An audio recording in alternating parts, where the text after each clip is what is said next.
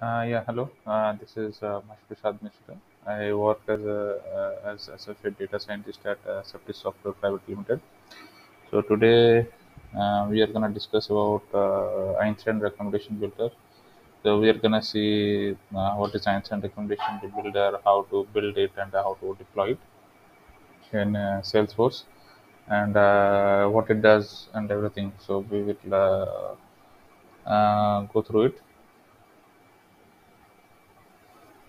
So once we reach in setup, you can just uh, search Einstein recommendation builder and uh, in quick find, and uh, you will uh, you, you can see here Einstein platform. It comes under this, and here Einstein recommendation builder. You can easily find it here. So how to um, build it? Okay, so once uh, you have enabled the Einstein recommendation builder, just go to new. Uh, so recommended objects is like uh, what do you want to recommend? Okay, so like. Uh, Uh, for example, we want to recommend a, a property, and then the recipient object is uh, inquiry. Okay, so we want to like uh, we have uh, inquiry records, uh, and uh, for each inquiry we want to uh, recommend uh, various properties uh, based on the like based on their uh, preferences and everything. Interactions object is we have already uh, we already have a uh, like interaction subject relevant property which uh, is like uh, understands the interaction between inquiry and properties is like the relevant properties for each inquiry and how like it works you know. So yeah we already have relevant property. So we can just uh, go next and then we can give a name api name and save and it will get saved. Uh, we already have built it. So let me just show what happens after we save it. So it will look something uh, like this. You can see here in settings we have recommended items recipient interactions. Uh, uh, score we have not built it yet. So we don't have a scorecard yet but we'll, we are gonna build it and then you can see example records if you want to you know uh, add some filters to specify examples then the relationship fields. Then the we can also focus on a segment if you want or use all records. You know fields uh, yeah in fields it will just uh, uh, yeah we can also select fields. Uh, we can also exclude or include fields according to our uh, preferences and according to our requirements. Uh, yeah. So summary. So uh, one other thing data checker. So before building we must check uh, this uh, data checker. It should be, like it should work and you know all the all the like all the uh, requirements should have like uh, should be fulfilled. Then only we can uh, build the uh, recommendation. Otherwise we cannot okay so let me close it. So now let's go and uh, build the recommendation builder. Uh, yeah. Uh, okay. Uh, the- so once it will get built we will get a notification here. Uh, not sorry, here. Notification we are gonna get a notification here. Uh, yeah. So after a few minutes uh, you as you can see uh, when we turn on the scorecard we can uh, clearly see here that uh, the uh, the recommendation builder has built the uh, built a like recommendation uh, metrics and everything. So you can see the recommendation quality is quite low like 34 percent. The predicted lift is quite good like you know 150 percent. And the top predictors property name subcategory photo furnished uh, max price. Those these are the fields of properties and queries you know which have a good impact on uh, these predictions. Recommendation quality they have uh, done uh, good. Uh, the thing is that we have uh, we are working on like uh, just enough just enough data like to build this recommendation. So if we have uh, large amount of data and uh, and quality type of data then we will have a good recommendation quality and like you know we will have a better recommendation quality than this uh, so yeah uh, yeah, this is the predictor. you can see the predictors like uh, property name, subcategory, and everything.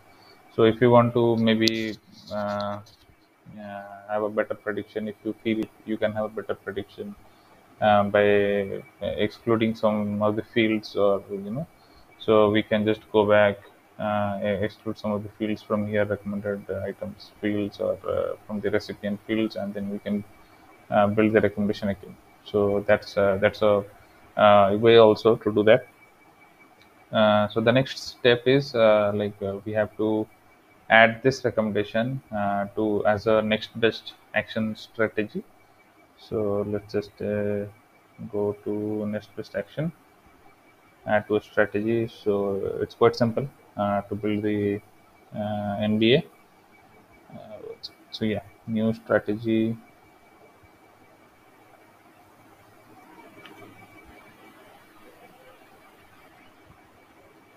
Yeah, just a few seconds. Let it open. Uh, yeah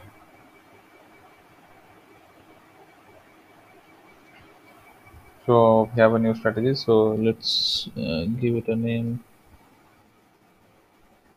Property recommendations.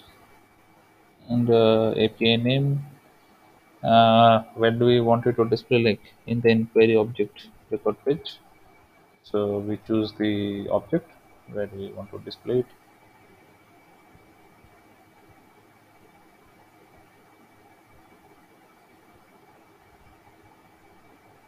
uh, yeah so if you want to build it as a template so we can also do this. And then uh, done. So you can see here uh, the element called Einstein loop so we are just gonna drag it drag it here. Uh, label here uh, uh, property uh, property uh, just a label we have to give uh, to the Einstein level. So we have to choose uh, which Einstein recommendation uh, we want to like have like build a strategy here. So we are gonna go with the one we build property recommendation simple. Uh, accept button label so we can just uh, keep accept. Decline simple decline. Uh, title field uh, we can have like uh, name uh, property property name. Okay let's go with this. And description field if you want to if we want to have some description.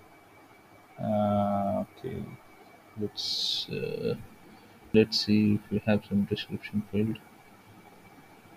And let me see let me see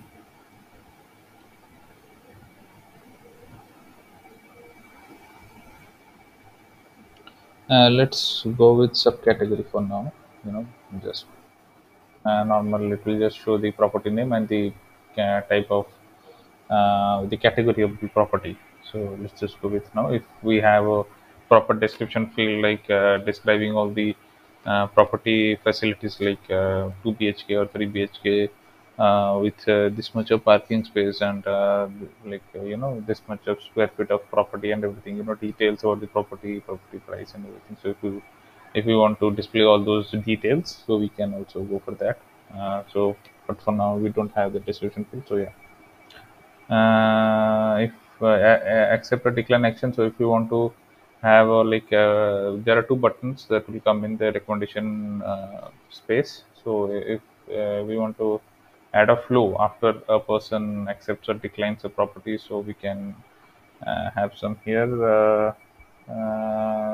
just I'm just giving it a random flow here, but we can have a proper flow and integrated with this. Uh, so let's go for done uh, yeah done and then uh, we will save it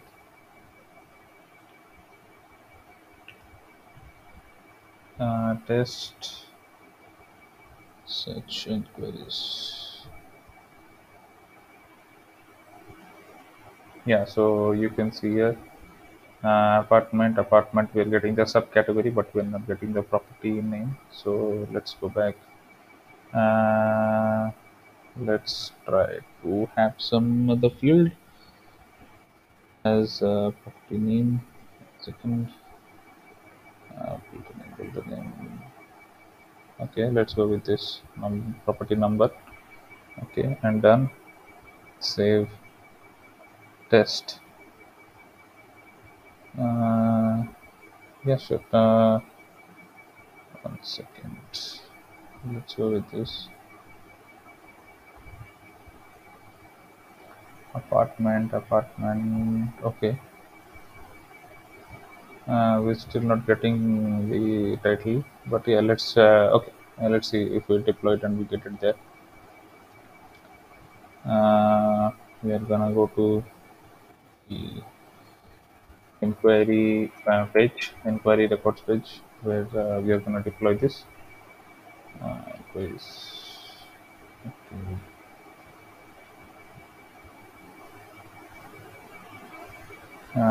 just choose a random inquiry page then go to edit page.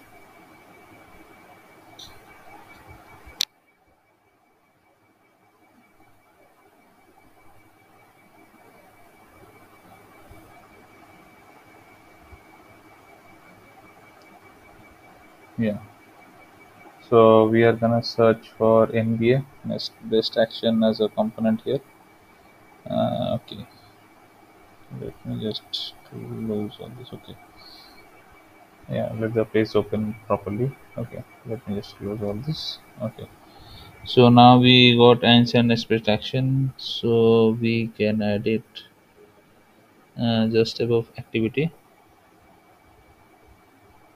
Uh, yeah. So property recommendations it's already there. Uh, number of recommendations four. Okay so show title. You can also add to show the title as you can see we are here showing the title here. Uh, loan rejection strategy builder hide and header if you don't want that. And title will be property recommendations uh, yeah and let's say let's give the some header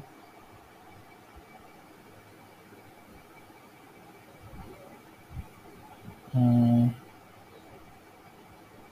yeah so now let's uh, save it. Uh, yeah. Let's save the page.